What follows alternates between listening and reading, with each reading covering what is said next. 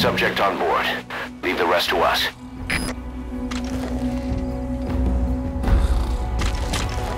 Good.